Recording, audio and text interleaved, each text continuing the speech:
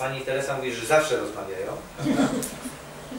Znaczy nie zawsze tak głośno. Ale poparła, uwiarygodniła Uwaga, e, kolejny punkt, Szanowni Państwo. Rozpatrzenie projektu uchwały w sprawie zmiany zadania priorytetowego. I uwaga, tutaj mamy temat Młodzieżowy Dom Kultury imieniem Janusza Korczaka. Projekt Nowa Huta Miasto Pracy i Walki, Pamięci i Solidarności. Na zadanie Młodzieżowy Dom Kultury imieniem Janusza Korczaka. Organizacja imprezy z okazji jubileuszu 60-lecia.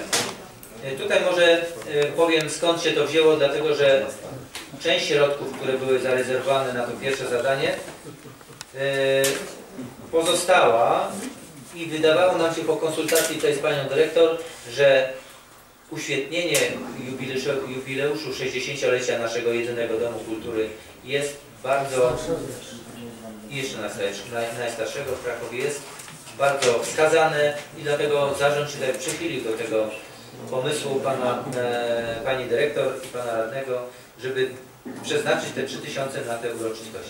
Otwieram dyskusję na ten temat. Proszę. E, Będzie, jubileusz będzie, panie radny, jakby pan mi pomógł, jubileusz będzie w syn- synagodze, z tego co ja wiem. Oficjalnie nie, nie znamy, bo to będzie występ. 15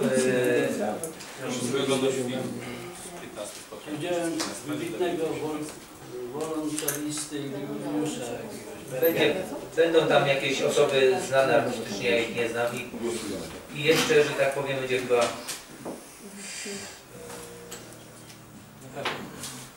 Zainteresowanych szczegółami odsyłam do filmu Dobrze, no przepraszam. na stronie internetowej. Nie chcę się przedstawiony. chyba tak, orkiestra beton, beton, beton, betonowska.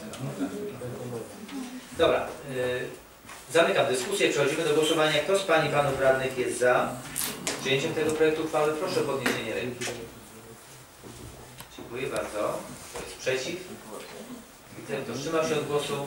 Również nie widzę. A więc stwierdzam, że Rada Dzielnicy 16 podjęła uchwałę w sprawie zmiany zadania priorytetowego na rok 2013.